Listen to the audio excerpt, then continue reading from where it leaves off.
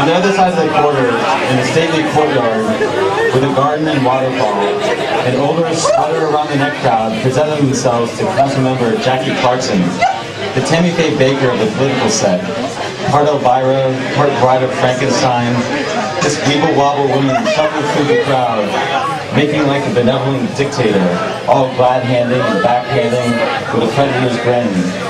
In her monstrous tenure on the city council, she rid the quarter of the tap dancing kids and tried to eradicate the tarot card readers and homeless.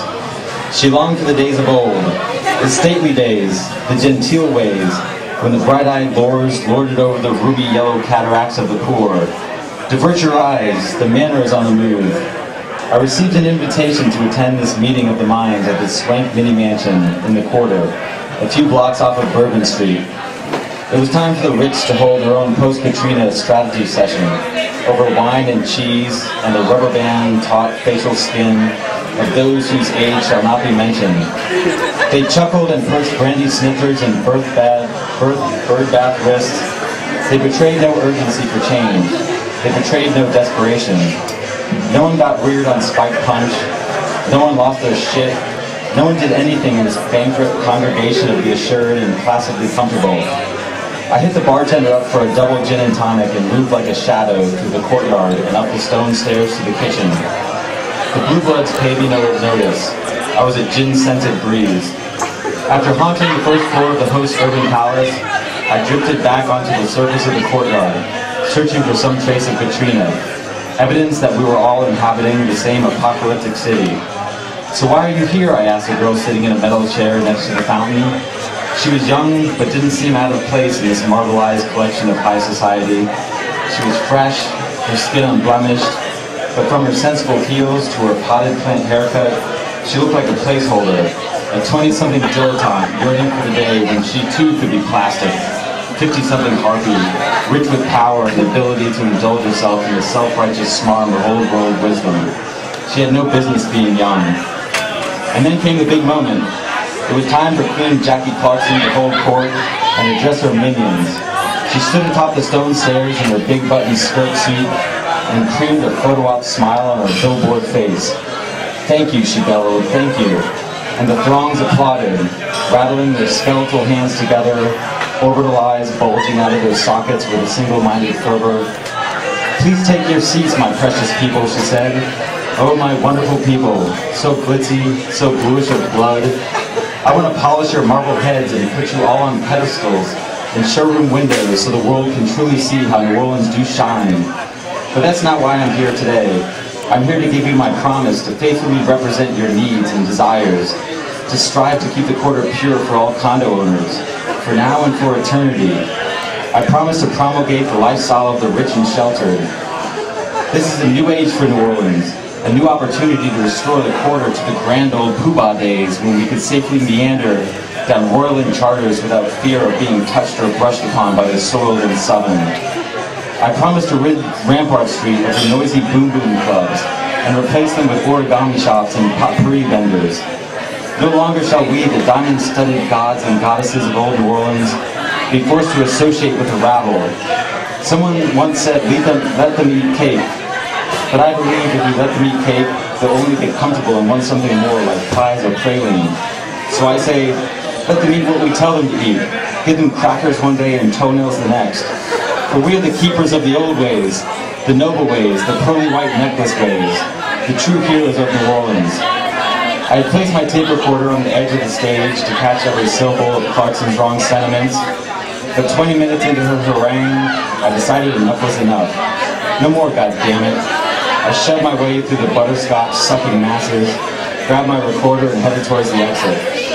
I stumbled out onto the street, drunk and disgusted, and slammed the gate shut behind me. The crash spooked a blue blood crowd. Someone shouted, the heathens are attacking, protect the queen. I slung back half of my drink and threw the rest on the sidewalk.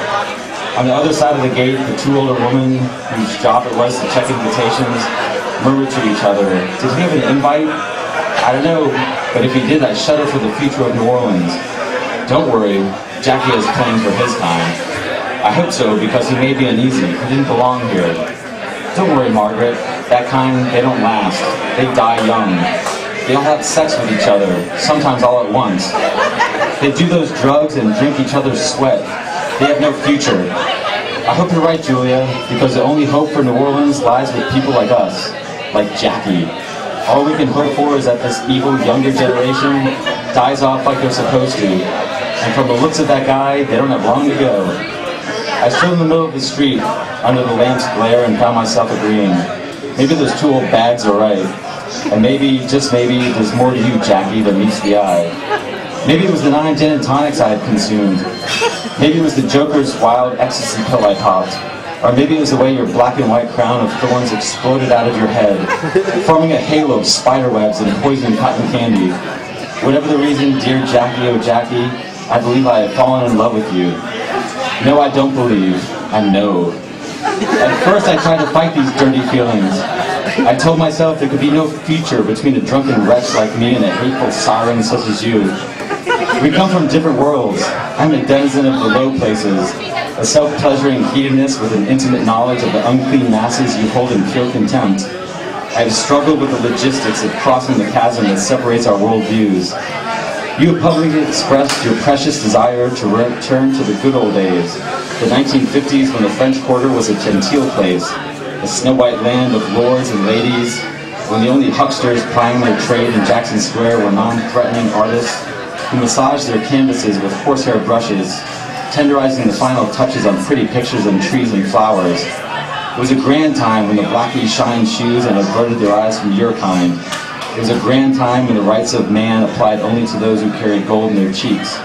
And I know how hard it must be for you, now that the grand times are dead, now that you and your kind are forced to meet in fortified courtyards, sipping on spirits and assuring each other that it's not too late, that there remains hope.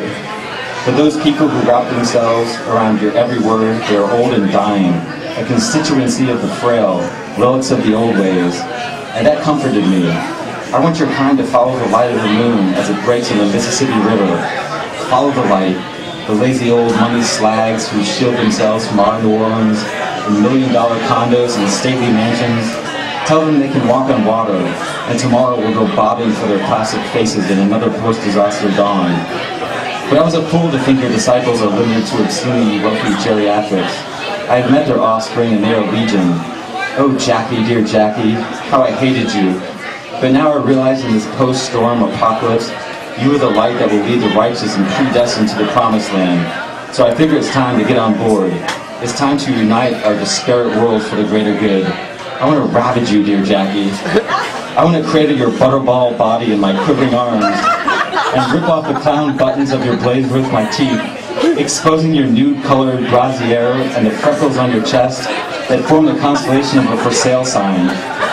We will lie down in a bed of promissory notes where I will tick your nipples with condominium contracts. This feels wrong, Richard, you'll say in that cracked vocal cord one of yours that has ruptured the eardrums of thousands of struggling souls? Shh, I'll whisper, wiping away the blood trickling out of my nose. Let's communicate with our bodies. I want to hear your bosom sing and the chorus of your inner thighs, you trollish temptress. And if I don't call you the next day, it's only because I am lying in a ball on the floor in some dark place, mumbling, reliving every sweaty moment we shared. And if I don't call you the day after that, not to worry. It's only because I am afraid of my own feelings. And if I don't call you in a week, it would be because I found a marble in the street and I'm spending most of my time trying to track down its rightful owner. But don't worry, I'll eventually call because you mean the world to me.